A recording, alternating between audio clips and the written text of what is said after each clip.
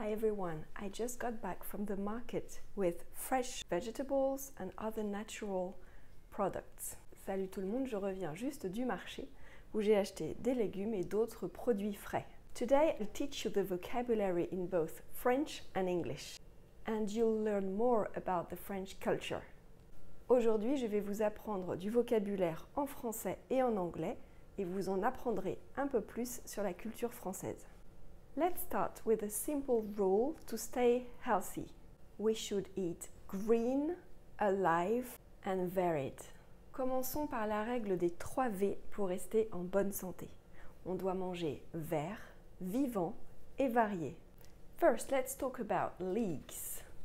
Leeks. D'abord, parlons des poireaux. En français, on dit un poireau, pas une poireau. Imagine your leek as a little man wearing tie or bow tie. It will help you remember that it's masculine. Un poireau, des poireaux. Next, we have potatoes. One potato, two potatoes. Ensuite, nous avons les pommes de terre ou les patates. On dit une pomme de terre ou une patate. It's feminine. Think of Madame Patate wearing a little dress, for example. This is tricky. How do you call this? In English, you call this a lettuce. We call this une salade.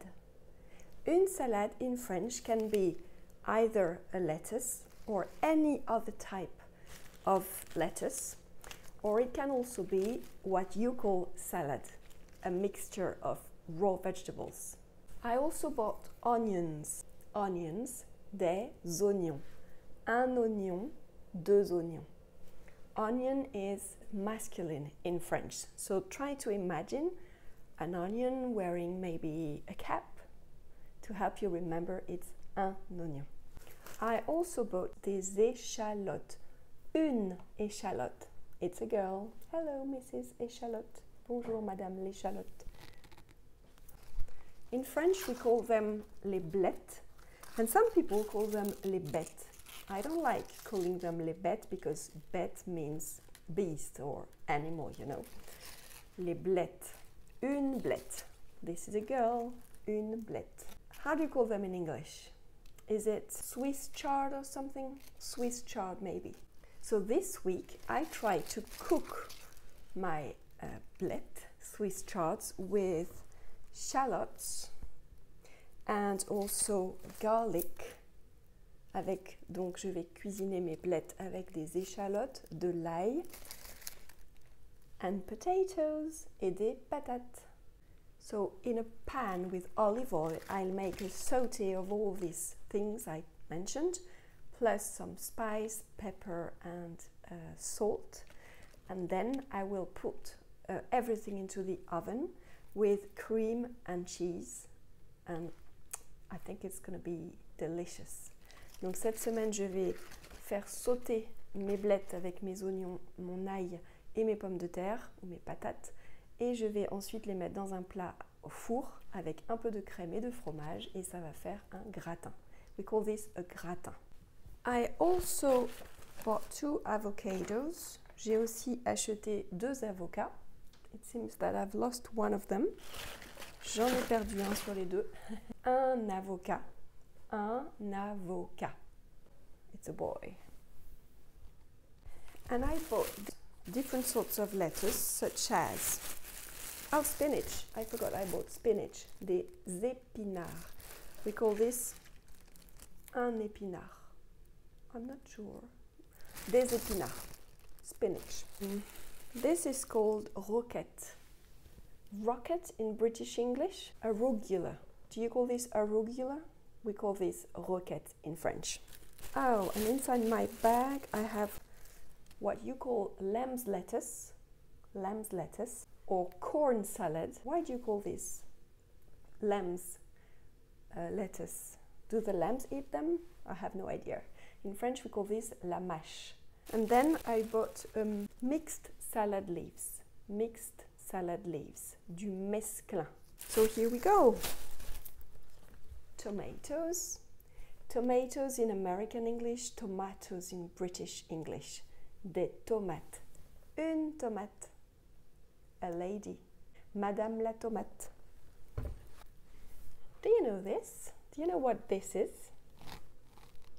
We call this des kakis. Un kaki, deux kakis. I love them when they are ripe. Persimmons. Persimmons. And some parsley. Parsley. Du persil. There's an L, but we don't pronounce it. Du persil. Maybe some people do pronounce the final L du persil, but it sounds weird. We said du persil. And a squash from Provence. We call this une courge musquée de Provence. It's delicious. C'est délicieux.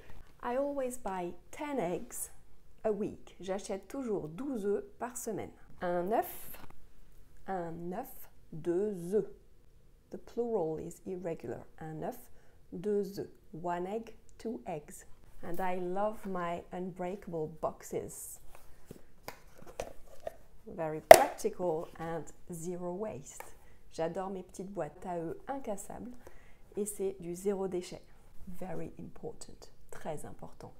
Oh yes, a vendor gave me this clementine. Mmm, yummy. As a gift. Un vendeur m'a offert une petite clémentine. Now let's talk about something different. Every week I buy galettes, galettes bretonnes.